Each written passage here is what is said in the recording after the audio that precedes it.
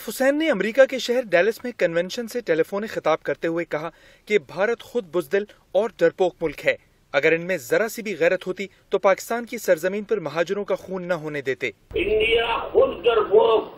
बिल्कुल बुजदिल, वरना हम उन्हीं की ज़मीन के बेटे जिनका कत्लेआम हो रहा है ठीक है मज़हब का फ़र्ज़ है फ़र्ज़ है अगर हिंदुओं में चैरिटी गैरत होती तो पाकिस्तान की सरजमीन पर महाजरों का खून नहीं होने देते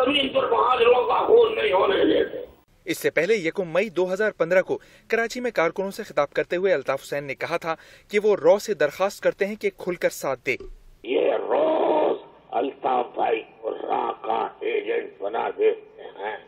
मैं रा से दरखास्त करता हूँ कि रा वालों ये इल्ज़ाम लगाते हैं एक दफ़ा खुल साथ तो दे दो और बैंक को असला भी दे दो फिर बता देंगे हम कि रा का agent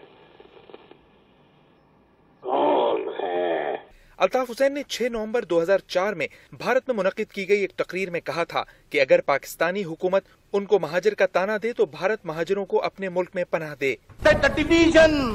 of the subcontinent was the greater greatest blunder in history of mankind it was not the division of the land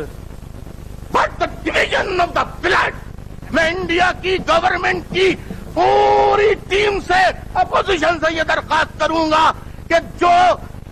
Pakistan की स्टेब्लिशमेंट में आज के बाद अगर कोई ताना मुहाजरों को इज़्ज़त करने वालों को ये दे तो मैं इंडिया की हुकूमत और इंडिया के तमाम अपोजिशन से तमाम ह्यूमन राइट्स पर बिलीव करने वालों से ये रिक्वेस्ट करूँगा कि खुदा के लिए आप उन्हें माफ़ करें और अपने आप बना editor investigation the news Ansar Abbasi ने अल्ताफ हुसैन के बयान पर रद्दमल देते हुए कहा कि कोई भी पाकिस्तानी होश हवास में रहकर इस कस्म की बात नहीं कर सकता। मेरा ख्याल है कि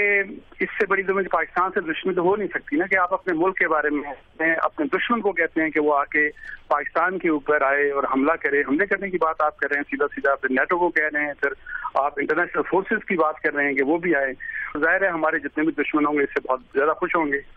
मैं, मेरा जो नुकता इस वक्त ये है कि अल्ताफ हुसैन साहब, एक तो सुसाइडल मिशन के ऊपर हैं।